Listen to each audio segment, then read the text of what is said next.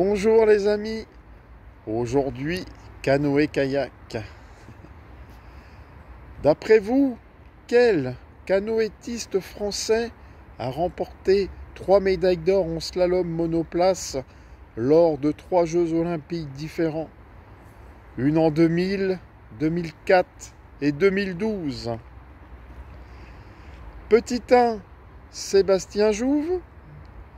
Petit 2, Tony Estanguet. Petit 3, Boris Saunier. Non.